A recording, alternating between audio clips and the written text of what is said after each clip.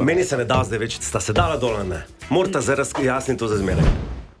Denisa danes ni, so pa z nami štiri finalisti kmetije, Aneta Nik na moji levi, eh, Franko in Denis na moji desni, počutite se kot v ringu. No, na sredini pa naš eh, fanatični fan vseh resničnostnih šovov, še posebej ja. kmetije, eh, Robert Troškar.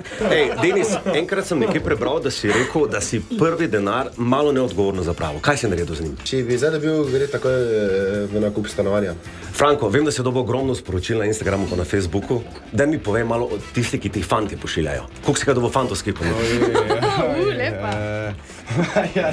Kaj ti pošiljajo? A ti ponujajo denar v zameno za? Kolikor sem jih dobil od fantov, malo presenetljivo. Ja. Nisem si nikoli mislil, da je to tako. A ti je kdo z radia ena poslal kakšno sporočilo? Punce moški, le. Meni se ne da zdaj več te okrog uh, vrele kaše hoditi, sta se dala dol, ne. Morate zdaj razjasniti to za zmeraj. Ne. Nista. Dala si ga da čutila od zadaj, ne? Antone?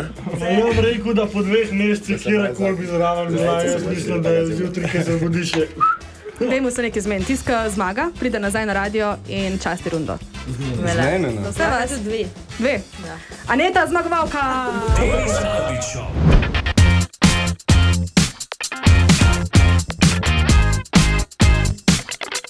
Ja, čakaš, da rečem?